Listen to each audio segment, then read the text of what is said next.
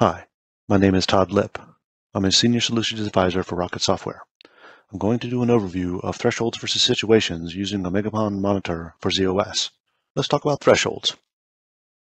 As you can see on the screen, our performance index value over here has lit up red. It happens because this particular attribute has exceeded the value specified in the threshold defined for this value.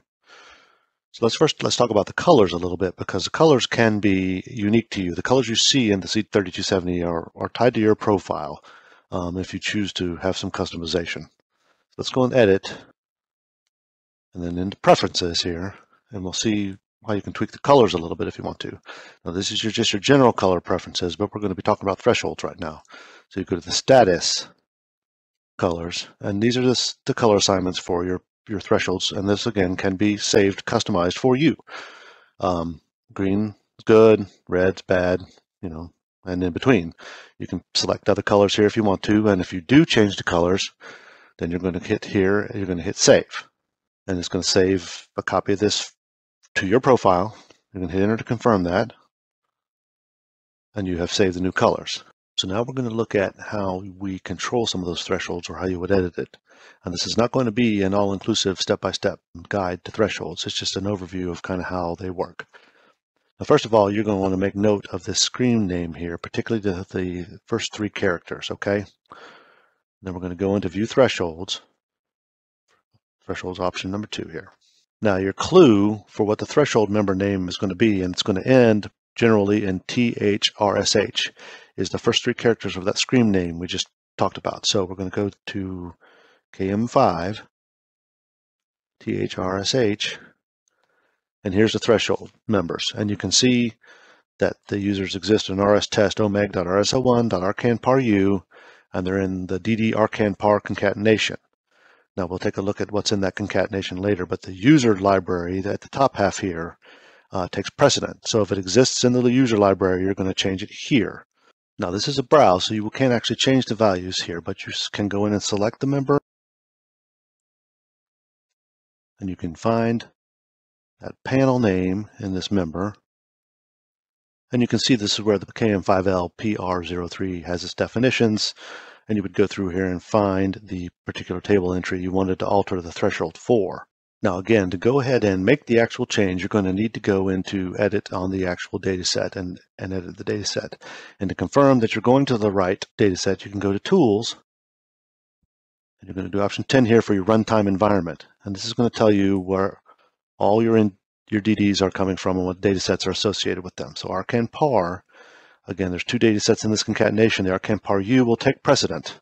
And that's where you're going to change this particular data set or this particular member because there is a user version of this data set. Otherwise, it'd be in the default, which is shipped in RKANPAR. Now notice below on this particular panel, you can also see where your thresholds come from. And this is going to be the same panel we saw a minute ago and you can see the different user profiles associated with the file. So this is your full runtime environment, including your user overrides. Okay, and there's just one more thing I want to cover here as part of the threshold overview, and that's when you've made the change, what do I need to do to, to pull it in? And where you want to go as an alternative to recycling any tasks or anything like that is to go into Tools, and you're going to do for threshold refresh.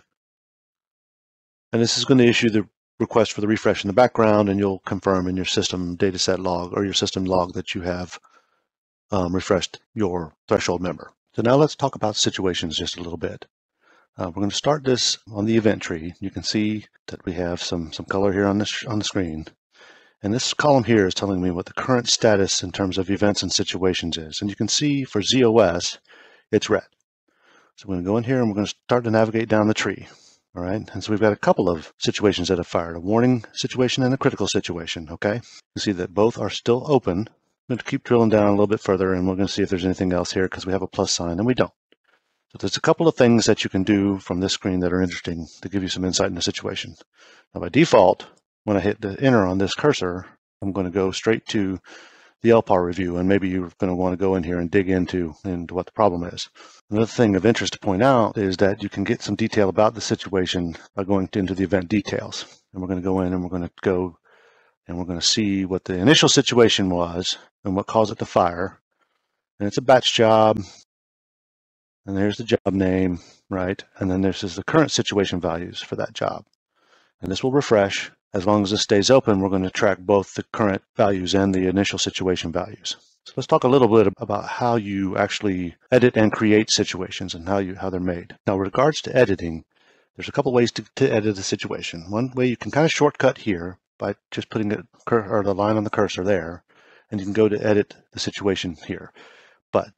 What we're going to talk about is the way to edit situations and add situations in general. So we're going to go to edit at the top here, and we're going to go to situations. Now we're going to come down to MVS system because that's situation location for the z/OS monitor. We're going to hit the plus and, and open up the tree a little bit. We're going to point out a couple of things here. If I do a slash here at the very first line on the, the top of the, the MVS branch, by default, I'm going to create a new situation, and that's all I'm going to see. If I come down one screen to one of these existing situations, then I get some different options. I can edit situations, I can create new, I can copy this one, I can start or stop this situation. And you can see here some of these situations have been started. Um, not too many of them have been started. So we're going to go back to the top of the branch here, and we're going to walk through what you would do to create a situation. And this is really more of an instructive on how thresholds and situations are different. We're not going to go through um, step by step uh, with everything you need to do to create situations here. So we're going to do a standard situation. We don't want to get into correlated switch situations. And we're going to call it something test. So you can identify that it's it's something you're created um, for test. You might want to use a different name or you might want to give it a production name. But this tells me that this is a test situation and it can be deleted if somebody needs to delete it. We hit enter and we're going to select from the table that we want to select from. And so we're just going to do address space bottlenecks here. And we're going to, we're going to select that table and it's going to tell us what the different column names, what the different values are that we can build a situation around, right? And let's do enqueue wait. Now we're going to accept that. And it's going to take us to the next screen. Now it's, it's propagated this with some values, right? But uh, address space bottlenecks enqueue wait equals zero, right? We didn't specify what we wanted to do here. So we're going to do a select because we want to edit that. And you can see that I want to select the value here. I'm going to edit this cell.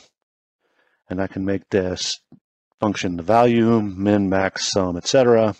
Um, we're going to say 3 for greater than, and we're going to say 100, which is seconds.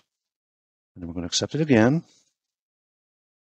And now you can see the, the condition of our situation has been set. Then you can see the other values here as well. Your interval, which is how often it's going to check the description, the severity level, etc. A couple of things you need to pay attention to when you add a situation is you need to go to the distribution panel here. And you can see up here at the top, number one, this has not been assigned anywhere yet. I have the 2L in my Plex available to assign it to, and I have this generic system group that I can assign it to, which is any MVS system. Always use the highest managed system group that you can eh, so that you get the situation active everywhere you want it.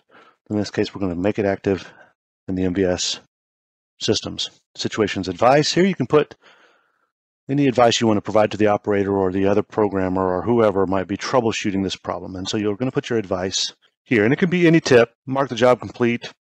Call so-and-so. Actions if you want to take actions. You're going to issue a command here. It can be any MVS system command. We're going to just display time just to put something in here. And we're going to accept it. And until. Now this basically just says when the situation or the interval expires. I'm going to leave 30 seconds in here because it, you know, at this point it doesn't really matter what number we picked. We're just kind of walking through how this works.